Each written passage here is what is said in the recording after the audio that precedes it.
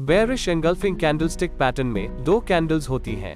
पहली कैंडल एक हरे रंग की बुलिश कैंडल है, उसके बाद एक मज़बूत लाल बेरिश कैंडल है। दूसरी मज़बूत लाल कैंडल एक बड़े वास्तविक शरीर के साथ पिछली कैंडल को पूरी तरह से ढक लेती है और इसलिए इसे एंगल्फिंग कैंडल कहा जाता है।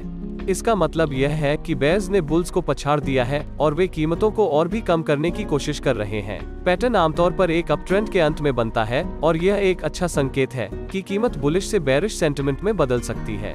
कभी कभी यह डाउन ट्रेंड के दौरान भी दिखाई देता है, जो डाउन ट्रेंड के कंटिन्यूएशन का संकेत देता है।